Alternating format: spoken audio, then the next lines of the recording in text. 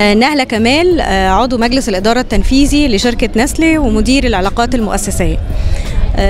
إحنا هنا بنشارك شركة نسلي شاركت السنة اللي فاتت في المسابقة بتاعة ريادة الأعمال فني مبتكر وشاركنا كأعضاء لجنة تحكيم وبصراحة كانت حاجة مبهرة جدا إنه وجديدة إنه أول مرة تتعمل مسابقة لريادة الأعمال خصيصا للمدارس الفنية أو التعليم الفني.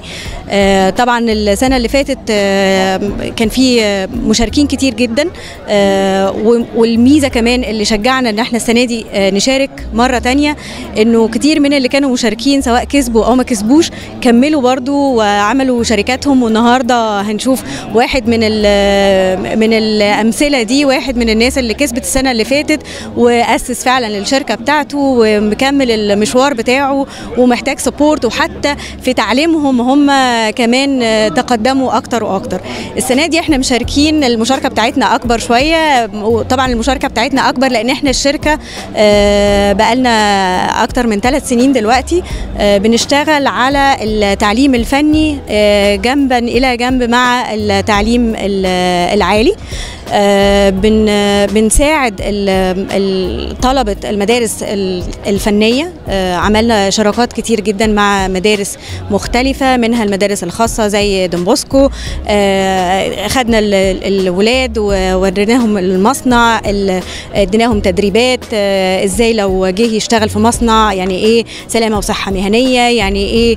skills إدارية وهكذا. آه لقينا إنه ال scene بتاع التعليم الفني في مصر خصوصا الصناعي dominated by ال males أو الأولاد. آه فاشتغلنا مع وزارة التربية والتعليم علشان آه يرشحوا لنا بنات من مدارس التعليم الفني الصناعي وهي مدارس قليلة جدا في مصر. اخذنا البنات المتفوقات في المدارس التعليم الفني الصناعي الحكومية وبرضو عملنا لهم برامج تدريبية وعملنا لهم تأهيل وتدريب على حاجات إدارية وحاجات فنية ووديناهم المصنع وشافوا ال career progression يعني شاف من أول ما يدخل المصنع من أول ما يدخل الشركة التطور بتاع ال career بتاعه هيبقى عامل إزاي قعد مع ناس تطورت من إن هي عامل فني على مكنة لحد ما بقى supervisor لحد ما بقى بيدير مجموعة من من العاملين.